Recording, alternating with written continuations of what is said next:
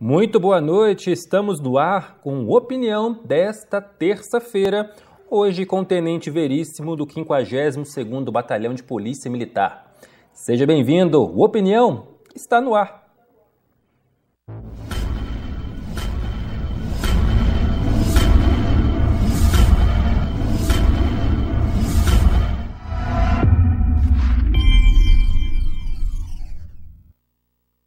Muito boa noite, você que nos acompanha Ouro Preto, Mariana, você que nos acompanha pelo Facebook. O Opinião está no ar, hoje recebendo o tenente do 52º Batalhão de Polícia Militar, Tenente Veríssimo. Boa noite, obrigado pela participação mais uma vez aqui no programa.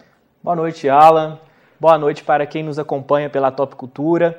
É, mais uma vez, Alan, uma oportunidade muito significativa da Polícia Militar estar aqui na Top Cultura, tendo esse espaço para conversar com a nossa comunidade de Ouro Preto e também cidades aí da região dos Inconfidentes. Você de casa que nos acompanha, participe conosco aqui. Mande a sua pergunta, a sua dúvida. E no terceiro bloco eu trago a sua participação. O contato é o WhatsApp da produção 988794985. Você que nos acompanha no Facebook, interaja conosco nos comentários da live ou também no Message. Você também é muito bem-vindo. Tenente, a gente começa com um breve balanço de 2021 pela corporação, as atividades desenvolvidas aqui na região dos Inconfidentes, ou apresentar para a gente os resultados positivos tidos aqui no batalhão? Olha, então, é, o ano de 2021, a gente está encerrando aí nesse mês de dezembro, e eu acredito que o programa Opinião é uma boa oportunidade para a gente estar tá aqui fazendo tanto uma avaliação quanto uma prestação de contas mesmo para a sociedade, o que, que a Polícia Militar, como o órgão do Estado, realizou aí durante esse ano na região dos Inconfidentes.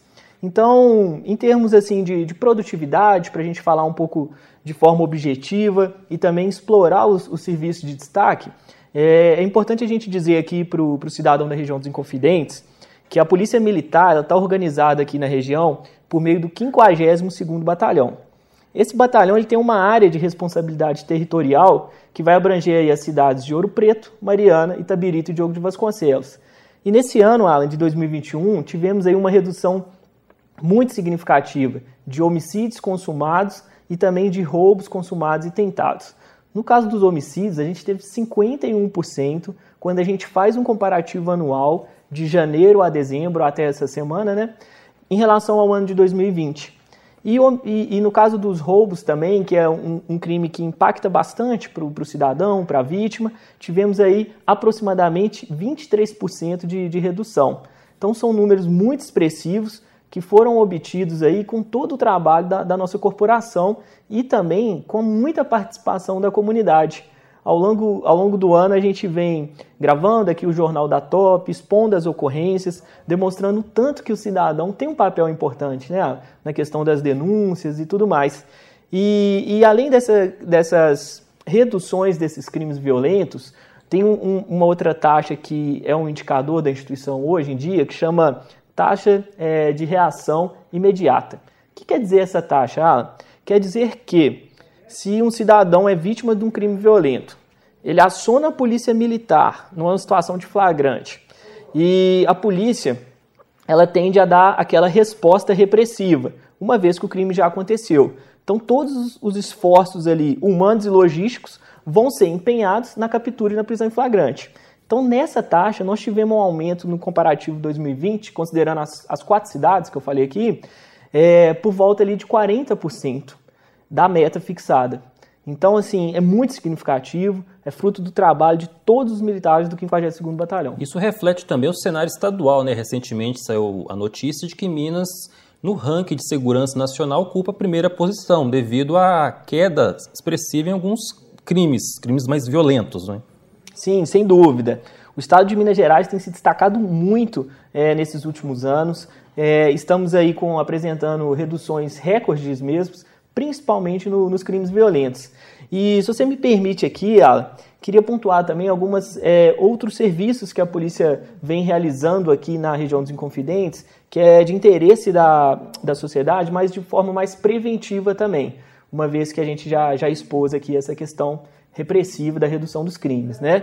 Nesse ano de 2021, a gente é, tivemos por meio do PROERD que é um programa de educacional de resistência a, drogas, no qual a gente formou aí no primeiro semestre é, praticamente 550 alunos e no segundo semestre agora por volta de 350 alunos. Esse ano foi um ano de adaptações, onde fizemos o ProERD de maneira online, né? assim como no, no ano passado, em razão da, da pandemia. A polícia se, se adaptou a esse novo cenário, uma vez que a gente tem, tem aplicado esse programa aqui na região há mais de 10 anos. Já formamos aí é, milhares de, de, de, adolescentes. Atuamos aí com crianças do quinto e sétimo ano. E por que, que é importante?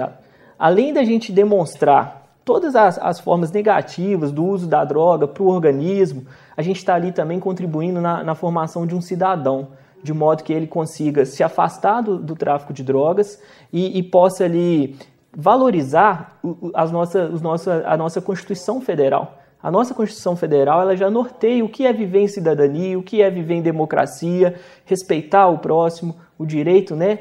o seu direito e também o direito do próximo. Então o ProERD ele, ele viabiliza todos esses ensinamentos. Agora a gente aproxima-se, né? estamos na semana natalina, as operações da PM já focando essas festas de final de ano. Mais pessoas circulando no comércio, mais dinheiro circulando e a polícia atenta a essas movimentações extras. Né? Atenta. Polícia Militar, é, ela tem um planejamento operacional muito específico para esse final de ano uma vez que a atividade comercial em qualquer cidade, do, tanto de Minas quanto do país, né, tem uma movimentação completamente diferente. Então, é, desde a Black Friday, já no final de novembro, é, fizemos adaptações no que a gente chama do, de, de cartão programa, que é assim, uma viatura ela, ela sai para o dia de serviço dela, ela já sai com um cronograma, um itinerário, né? onde que ela vai fazer o policiamento, qual comércio, qual ponto de ônibus ela vai focar. Então, assim, nesse momento da, da, da, do Natal, a gente chama de operação natalina. Então, em todo dezembro, além da gente ter uma destinação do nosso recurso ordinário para essas áreas comerciais, a polícia ainda conta com o reforço dos militares que durante todo o ano atuam no expediente administrativo. Nesse fim de ano, também vão para a rua é, de modo a gente potencializar os recursos e garantir a segurança tanto do cidadão que está ali fazendo a sua compra, comprando um presente para o parente mais próximo, para um amigo, como também para o comerciante que precisa dessa segurança pública. Tenente, a gente vai para um rápido intervalo, daqui a pouco a gente volta com os assuntos de segurança pública, assuntos específicos que a gente vai trazer no próximo bloco. Você não sai daí, continue participando. É rapidinho o intervalo, a gente volta já.